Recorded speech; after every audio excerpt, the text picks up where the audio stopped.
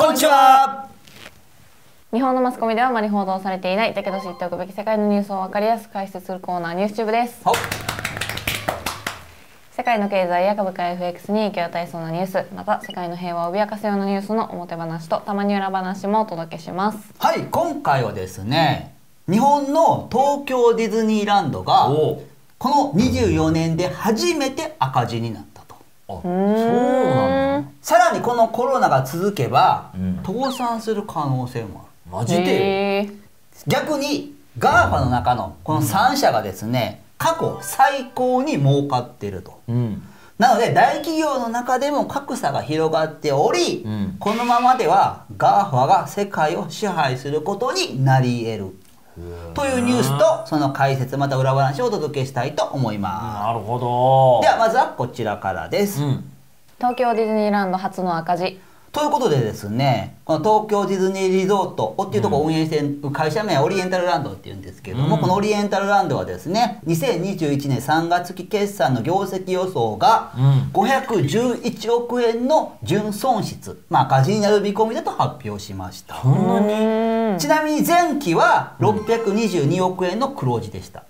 そんなに？今回は511億円の赤字となりますすごいね。すごい開きやね。すごい開きですね。1996年にこのオリエンタルランドは東証一部に上場したんですけども、うん。上場して以来赤字は初めて。へー。24年で初めての赤字ということです。まあそれだけ愛されてるいうことだね。そういうことねずっと赤字うん。で入園者数も過去最低の950万人の見通しということですね。こ今年は。今年はい。まあもちろん当然理由はコロナが流行ったからですよね。うん。コロナ禍で東京ディズニーランドとディズニーシーは、まあ、2月末から6月末まで休園してたんでね、うん。まあ、それがすごく響いているということです。休園したらな、うん。行かれへんもんな。で7月に再開しましたけども、うん。入園者数は通常の半分以下に抑えてるんで苦しいってことですね入られへんねや。入場規制。まああのソーシャルディスタンスとか密を避けるために半分以下にしてる、まあ、映画館とかもねちょっと前まで半分にしてたからそういうことをやってるということですね。なるほど。なので4月から9月の入園者数は269万人と前年同期の2割以下20%以下しかも来ていないということですね。そのためオリエンタルランドは約4000人いる正社員と嘱託社員、まあ、これ非非正規っていう意味感じですけどももうボーナス7割減らすと。ほまあもうもうネットで儲かってないんで、うん。さらに時給で働くダンサーたち出演者約1000人に対しては窓口業務に移ることとか、まあ、退職などの選択肢を示したということです。えーということでもう大変夢なこと。がねえな。もう夢の国も今経済的にすごく大変なことになっているという。大こと変やですね。なうん。でまあ横田常務って方はですね会見で、うん。基本的にはもう雇用を維持していきたい。はい。だけど、まあ、ショーとかしばらく実施できないんでダンサーの方などには辞める選択をした方もいるというふうに言っておられます。あそうしてないんですね。まあそんなショーが密になるからね。できなかったりするんじゃないですかね。うんさらにですね入園者数に関して言うと今まで外国人観光客とも聞いてたんでねそこもなストップしているんでそれでなかなか回復が見込めないですので、うん。まあもう日本人国内ゲストに魅力ある施設を今後提供していきたいと。うん。そのために新しい新規投資も考えているというふうに言ってます。し、うん。チケット価格見直しってことで、まあ、値上げするかもしれないというような話もされておられます。とはいえ、まあ、一応非正規の嘱託社員でも雇用を守ろうとしているところは一応評価できますよね。そうですね。まあ、ボーナスは減りますけど、まあ、それはちょっとうん。仕方ない仕と方がない。ね。儲かってなかったら。ううん。ん大阪のどっかのテーマパークは首切ったからねすぐに。ま あ大阪やからな。そこら辺ちょっとシビア。えー。うん。というわけでですね夢の国も現実世界では経済的にかなりやばい状況になっているということですね。なるほど。まあ、もっと言えばですねこれ世界的に見ると感染拡大がもう過去最高レベルで今やばいことになってますんでうん日本も再び感染拡大するかもしれないと。ね、今 GoTo とか GoTo トラベル GoTo イートとか、まあ、日本人はもうなんかコロナが終わったかのように一応なってますけども。なってます。世界的に見ればこれはかなり異質であって、ね。というかある意味まあ言ったら気が緩んでるわけですよね。ま。うん。そうなればもし本命と言われているこの冬にうん。また感染拡大すれば緊急事態宣言もう一回出たりとかもしくは自主的に東京ディズニーランドまた閉鎖とかなったっていうことは全然ありえますよね。ですね。うんそうなったらまた売り上げ下がりますと。下がりますさらに言えばですねコロナ禍がこのコロナがずっと続くようだとそれこそですね七藤さんのコロナウイルスのコーナーでもずっとやってもらってますけどいろんな研究結果があるように中にはもう何年も続くっていうね、話もありましたよね。そうですねもしこれほんまに何年も続けば東京ディズニーランド倒産っていう可能性もなくはないってことです。ほんまやな。この数ヶ月のロックダウン、まあ、緊急事態宣言の閉園でも500億円赤字出てますからね、うん。さらに雇用維持していっていったなったらもうめちゃくちゃ大変になりますよ。ね。ほんまやね。まあ、もちろん今すぐどうこうなるってことは全然ないんですけどもいろんな研究結果からもあるようにコロナがまだまだ続くともし仮定すればこういうテーマパークとかもやばくなっていくということですね。まあ今までのとこは維持できなくなってくるよね。そういうことですよね。うんそんなね早くコロナが収束してまたみんな夢の国で思いっきり楽しめたらいいんですがしかし夢の国をですねさらに過酷な現実が今襲っております。うんというのもディズニーランドパリが再び閉鎖されました。ああフランスやもんねはいうんウォルト・ディズニーによるとですね29日にフランスがもう全土で再びロックダウンしましたので、うんパリにあるディズニーランドパリは再度閉鎖されました。うーんというわけでですねまあこれ今はフランスの話ですけども世界中で広がってるんでまた世界中のディズニーランドが閉鎖される可能性もあるということですね。ねディズニーランドパリは今年3月にそのコロナの影響で閉鎖されたんですけど7月に再開してたんですね。うんでまたこの10月29日から閉鎖されました。だからまあ3ヶ月ぐらいしかできてなかったってことですね。なるほどえどうどうなのよね？うんまあ、ディズニーランドって夢の国やからここでクラスター発生するわけには絶対いかないわけなので、まあ、当然すごく慎重になってるわけですから。まあ発生せえへんよそどんな大阪のどっかのあれとはちゃうんでね。ああ。なんであそこ発生したん？してないですけど、うん。ちょっと、まあ、どっちかというといやいけいけじゃないですか。イケイケじゃないよ。イケイケじゃないよ。全然めっちゃマスクさせるから。暑 い夏にマスクしてくださいマスクしてください。でもう何何回消毒させられたか、も。うちょっと出て入るだけで建物がすぐ消毒やんもう。ね。えいいことやうん。またこのねディズニーランドパリの閉鎖はきっとほんの始まりに過ぎないということで、はいまた世界中でディズニーランドをはじめこういうテーマパークの閉鎖の流れは来そうだなということですね。そうですねだけどちょっとやばいことになってくるかもしれないということです。では次のニュースです。 GAFA の3社が過去最高に儲かってる。うん。そんなもうディズニーランドっていうねもう絶対ディズニーランドなんてずっと儲かるやろってみんな投資家としても思うわけですけどそんなとこ赤字になってる中 GAFA だけはもう絶好調です。絶好調。過去最高でございます。あ GAFA と呼ばれるアメリカ巨大企業 IT4 社がですね10月29日に発表した7月から9月期の決算でいうとですねまあ、Google のこの我らが我らが YouTube 先生の持ち親会社 Google さんその Google の持ち株会社でアルファベットと、うん。Facebook、Amazon がですねこの3社四半期としては過去最高益を更新しました。ボーナス。ボーナスください。コロナウイルスがもうずっと広がっているんですけども好業績が際立ったということです。おかしいな。うちの広告収入上がってないけどな。それはこんな言ったらあかんことばっかり言っとるからな7分下の動画で広告を剥がされとるからや。アップルは現役でした、まあまあアップルは。まあ、アップルはちょっと違いますからね。情報とまたきもものっていうのは違い機器は違うですよからね。うん。そんな我らがアルファベット、うん。YouTube さんの親会社ですけども、うんうん純利益はなんと前年同期比59%増。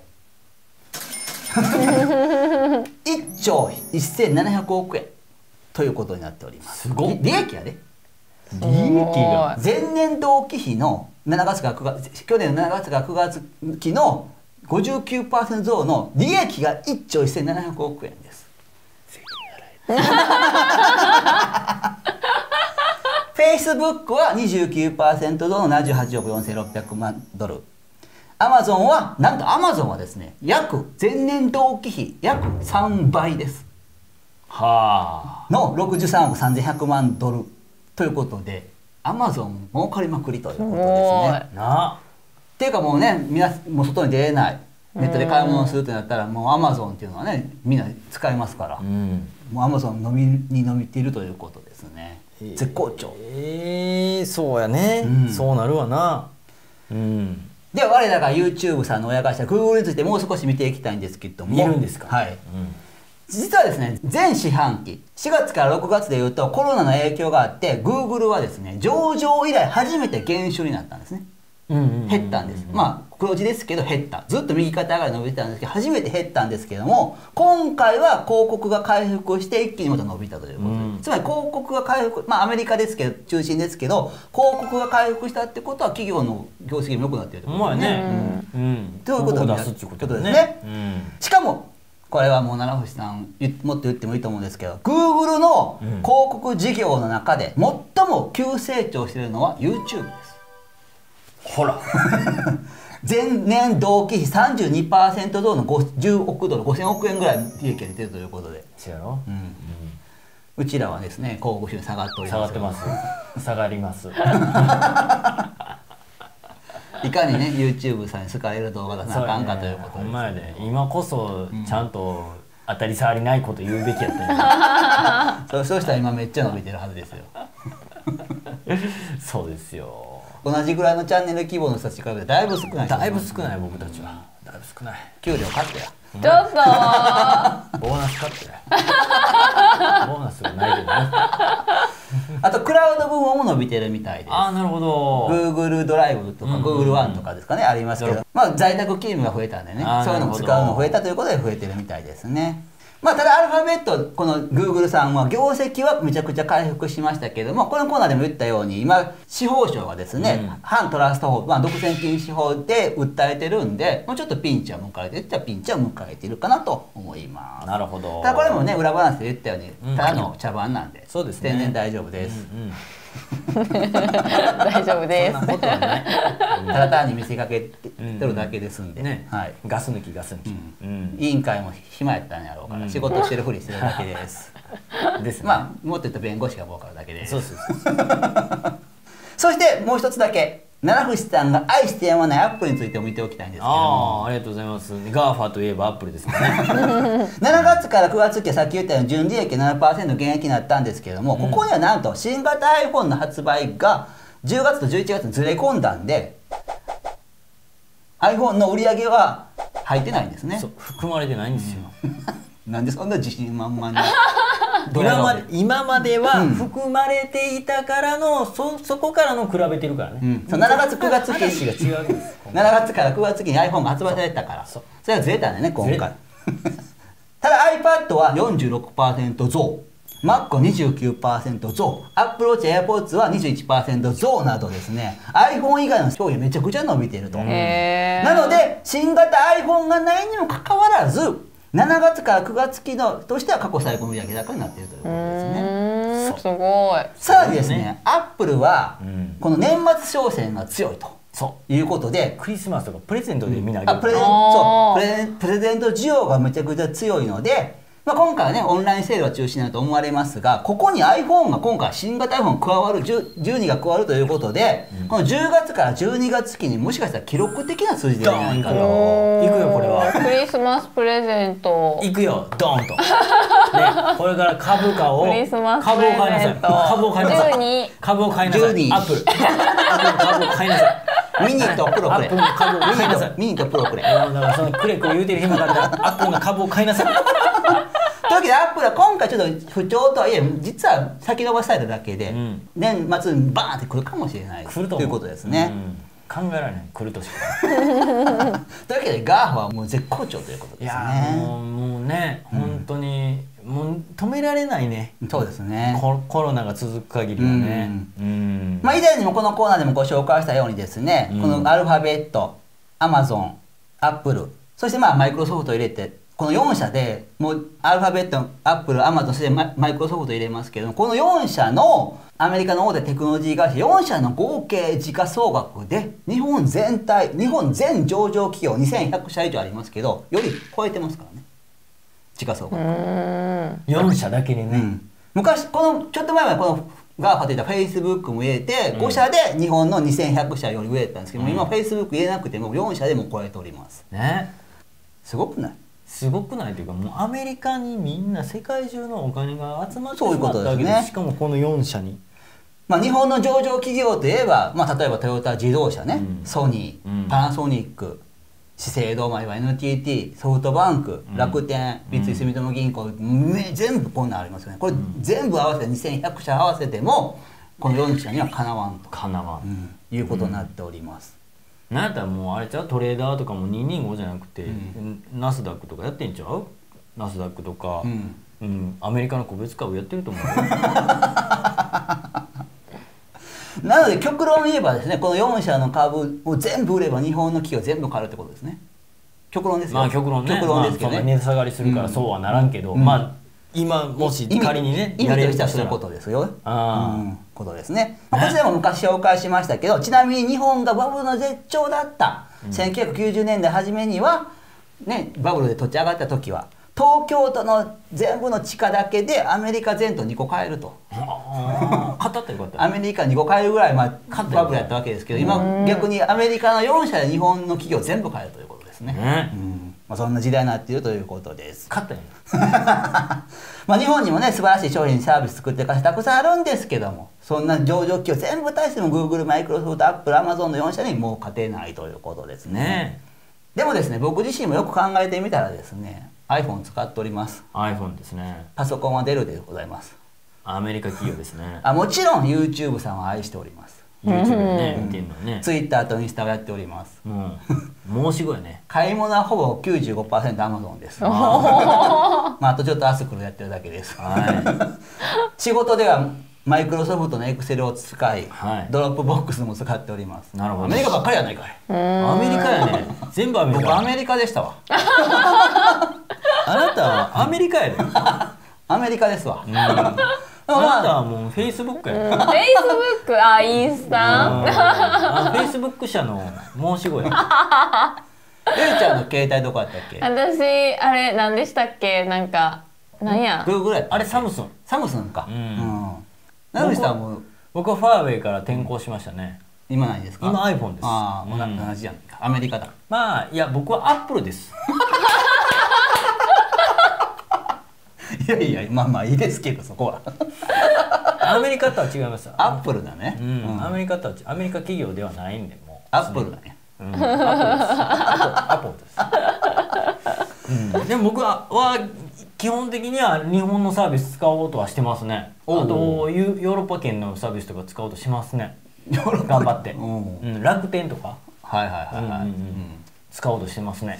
使おうとしてるってことは使ってないってことですね使ってますね。あ使ってますか、はいただうちの事務所に届けられるやつはほとんどアマゾンですけど、はい。もうそんな高いもん買ってないです。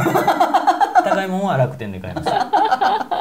さっき楽天とかね、まあ、ソニーとかパナソニック日本企業も応援したいんですけれども、とはいえねちゃんと便利で使えるもの作ってもらわないとやっぱり使う気にならないんでそういう考え方では日本はどんどん弱くなるから。でもそこの工夫しない限りやっぱ変わらないんで。いやいやみんながそれは卵が先か た鶏が先かっていうことでみんなでソニーを買って応援しよう、まあ日本企業もね古い体制から抜け出して、うん。再び世界をね楽しくさせてほしいですよね。昔は日本企業だったからね。ほんまやで、うん。まあこのねねアップルの CM とかねソニーの真似してしてただけやもんね最初ね、まあそうですね、うん。この持ち運べるねウォークマンね。ウォークマン作ったのはソニーです。ソニーですから、あの頃を取り返していこ もう一回ねそんな時代来てほしいですけうどですね。こんなね超大企業になった GAFA にもし対抗できるとしたらもう唯一考えるのはもう中国企業だけですからね今のとこ。ろ大きさとしてはね。ううん。んまあでも日本企業はそこ力あるんで。あとはもう多分古い体上が古いんで多分。まやな。そこ全部取っ払ったらいけるとは全然思うんですけども。うんというわけでですねちょっと話それましたけどもとにかく新型コロナウイルスの感染拡大によってこの大企業の中ではもう過去差が出てきたということですね、うん。そして先ほどもお伝えしたようにコロナが長引けば長引くほどこの格差も開いていくんでもしかしたらもう取り返しのつかないところまでいくかもしれない。ほんまやね。ということですね。うん。なんでも日本の企業はあれ名前だけ日本企業やけど資本は全部買われとるやんかーいっていう状態にシャープとか武田薬品とか日立とか、なるかもしれないですようね。ん。うん。東京ディズニーランド言うてるけど資本はちゃうかもしれないね。いう話ですよ。USJ もちゃうしね日本資本と。まあ、でも日銀も頑張って買うてるから。などこの会社やねんいう話なのね、うん。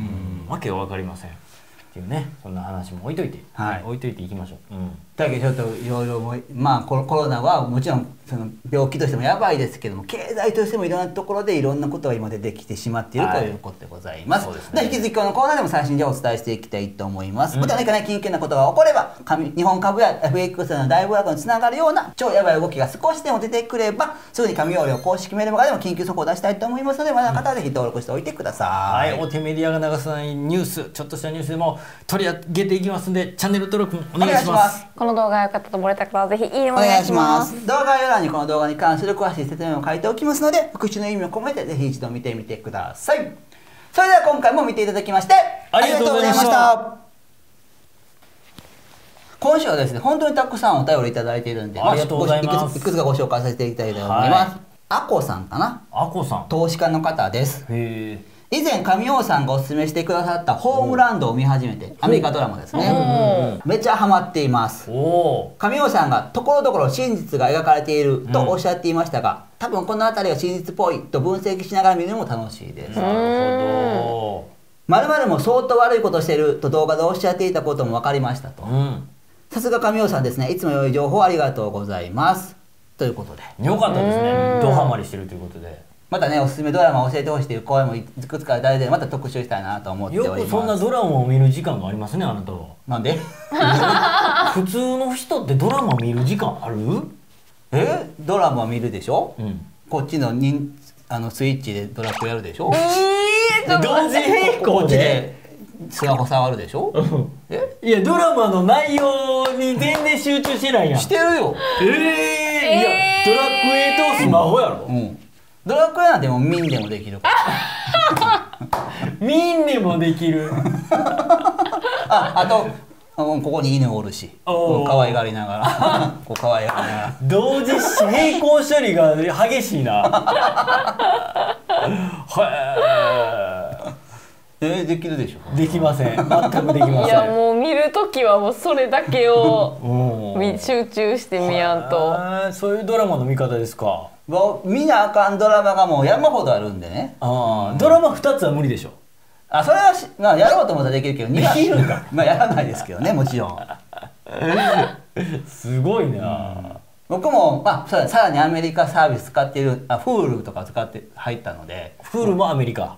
ですよね確か。うん。で Amazon プライムも見てるんで。あー全部はアネメリカや。ットフリックスも入ったろうかな思ってるんでいやいやいやいややりすぎやろ。やりすぎやろ。そんだけ見るもんないわ。いやび微妙にここここにはなこっちはなこっちなんでないねんっていうのがあるんで、ね、確かに。いやいやもうそんなんええねん。そんなん諦めろ。あとですねあこさんまだ続きがありました。はい。七藤さんの大喜利も楽しみにしています。ということで七藤投げるのだいやいやいや和子さんちょっとちょっとやめてください大喜利を、ん。いやそのそういう人らだけ取り上げてるよな。多 いや無作為です。分いや。一応最後に入れてるだけやんこの人らは別に。楽しみにしてないよ。東京ディズニーランドは起死回生の一手を打った。どんな一手？これボケやすいよね。いきますよ。別のね感想メールではねもう有吉さんよりおもろいと。うん。いや大吉さんよりおもろいやめてとください。やめてください。先週の感想メールでは喜劇王だとあーほんまや。ええってやめてくれじゃあいきますよ。うん。東京ディズニーランドが起死回生の一手を打ったどんな一手？ミニーがちょっと際どい水着を着てる。ああ悪くない。悪なんでもっとパッて言わないちょっと恥ずかしいな。七藤さんのお子さん見てますか？見てないお父わさん言ってますよ。えー、こんこんなん言わなあかんねお父さん。こんなんこんなん言わなあかん仕事やねこんなん言うのも仕事やね40超えて羊かぶり。羊かぶってミニーがちょっと脱いだとか言わないパ頑張ってる。パパ頑張ってるやん。頑張るわ。食べさせていくのも大変ですからね。頑張りましょうみんな